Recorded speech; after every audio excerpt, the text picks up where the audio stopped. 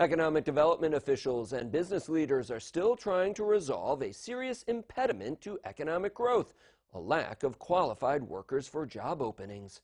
The agency and the Greater Binghamton Chamber partnered on a State of the Workforce presentation this morning at the Holiday Inn Binghamton.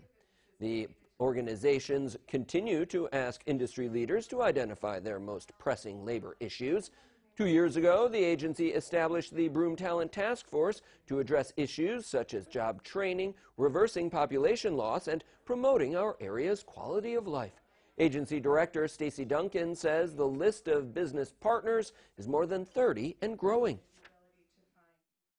We're thrilled that the level of engagement since we started our effort two, two and a half years ago has not waned. In fact, it's grown. We're seeing more businesses come to the table and want to participate in discussions on workforce, and we're seeing a lot of exciting new partnerships be created.